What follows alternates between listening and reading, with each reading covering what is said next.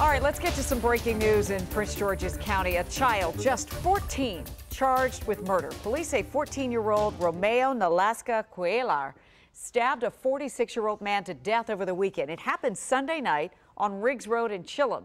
WUSA 9 reporter Matthew Torres is live at the police precinct right now. Matthew, uh, what do we know about these charges? Well, Leslie, at only 14 years old, this suspect is now being charged as an adult. New court documents that we have obtained today say the victim died over 40 to $60 in cash while on the job. Now, take a look at your screen. That suspect is 14-year-old Romeo Cuellar.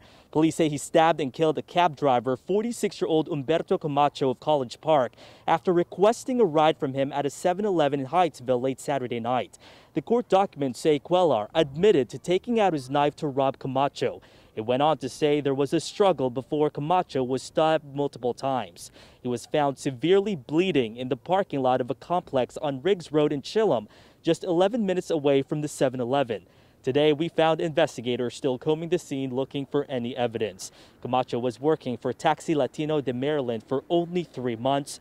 His co-worker, who also put together a GoFundMe for him, described Camacho as a hard worker whose focus was always on his family you know, every all the money he made, uh, he would always send it uh, every week uh, to uh, his uh, family, wife, and kids in Mexico. Now, we also stopped by where the suspect lives uh, over in Brentwood. Neighbors say that uh, even though, despite what happened, the family as a whole, though, has been great neighbors and helped each other out. Now, again, this suspect is now being charged as an adult. Reporting live in Hyattsville, Matthew Torres, WUSA 9. It's just a tragedy all the way around, Matthew. Thank you.